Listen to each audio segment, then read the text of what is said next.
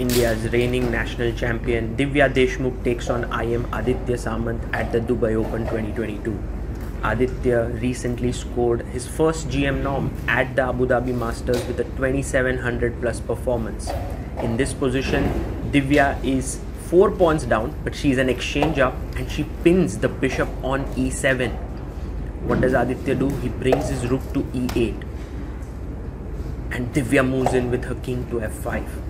On first look, it seems like black should be better with all the material advantage that he has. But look at white's active pieces. They are just so strong. So Aditya pushes his pawn to h3. Even a look at the clock can tell you that Divya feels comfortable in this position. She has 5 minutes 13 seconds. Aditya has only 41 seconds. He's trying to distract one of the rooks with his h pawn, which he can give up because then he would have three central pawns here. Divya brings her rook back to b3. She wants to swing her rook over here, pick up this pawn and enter from the other side. How does Aditya deal with this? He has just 10 seconds left on the clock. 8, 7 goes rook h8 and Divya moves in instantly to b7 and Aditya comes back and Divya goes back. Well, Aditya gained a precious minute on the clock to think while Divya tried to limit as much time as she could that Aditya would get to think.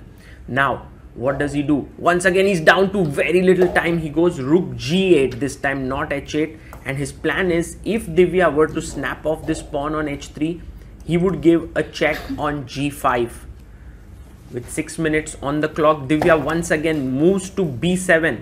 What does Aditya do? Because once he gives a check on g5, the white king moves back. There is no way that this rook can defend the bishop which is pinned. So it would mean sacrificing an entire rook. Believe it or not, that position is still playable.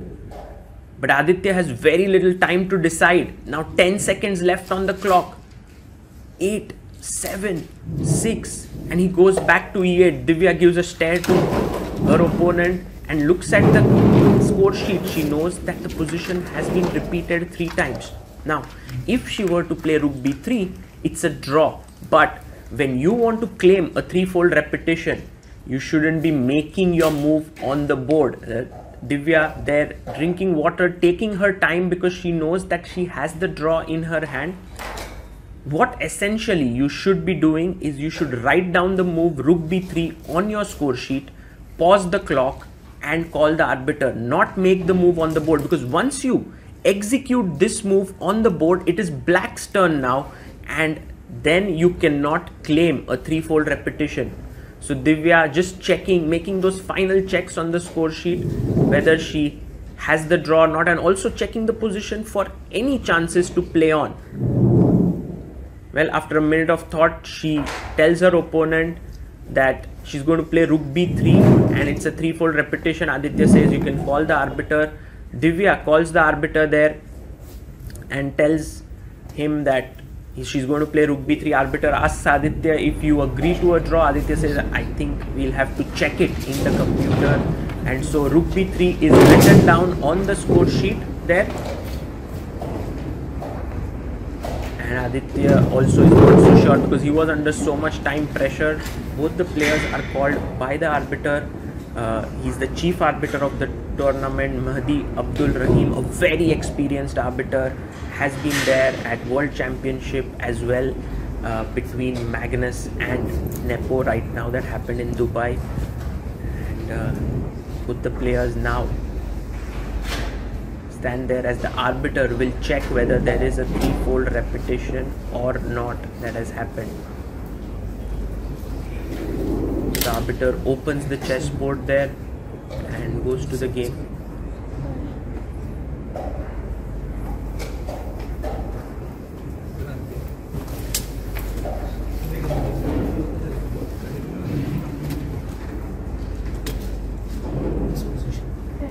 And Divya says she's going to play rook b3 and that would be a threefold repetition.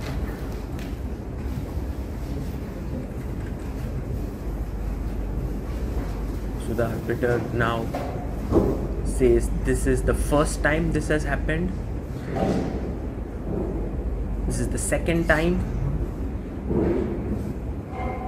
And this would be the third time when Divya would play rook b3 and so it's a draw. It's a threefold repetition and a draw has to be agreed in this position. Divya did it the right way. Maybe she could have just written down her move and pause the clock but the most important part here is not to play your move on the board before claiming a draw. The players sign the score sheet and a draw has been agreed